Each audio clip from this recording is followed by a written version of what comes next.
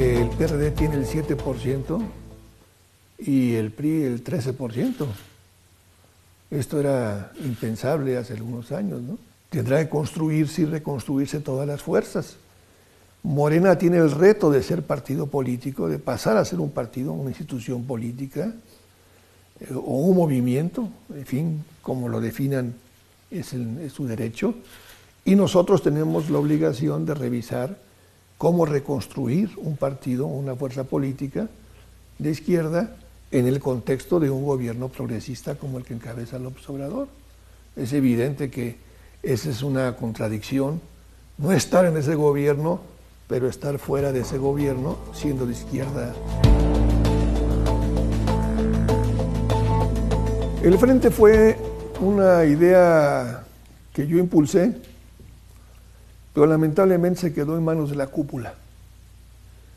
La decisión del frente se construyó entre dirigentes de los partidos y no se decidió con la gente, con la ciudadanía. Esa equivocación estratégica nos llevó al fracaso del frente. Lamentablemente el frente lo, lo asfixiaron los propios dirigentes de los partidos que integraron el frente y el candidato como salió no fue lo mejor. Y una campaña con un candidato que no tuvo mayor vinculación con la sociedad en términos de su personalidad y de su actuación, y que eh, ni siquiera con los gobernadores eh, tuvo interlocución para construir este gran movimiento que implicaba el frente que se quería y un gobierno de coalición. Nosotros vamos a entregar los libros blancos.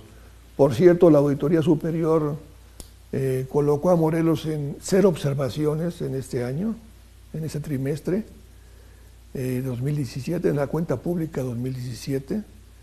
Y eso es muy importante para nosotros. Vamos a entregar con transparencia con claridad lo que se tiene en el Estado, los logros que ahí están a la vista.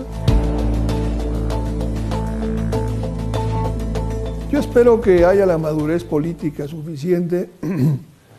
claro que la experiencia política la tengo yo eh, y otros actores. El, el gobernador electo Cuauhtémoc Blanco está empezando en la política eh, no, dice que no le gustan los políticos, es la hora de reconciliarse, ponerse de acuerdo para, en beneficio de los morelenses. Eh, yo goberné un estado con un presidente de otro partido y supe construir, ahora que, tiene la relación de la coincidencia con el presidente eh, López Obrador, yo creo que es una oportunidad para que él pueda superar lo que logramos nosotros en esos seis años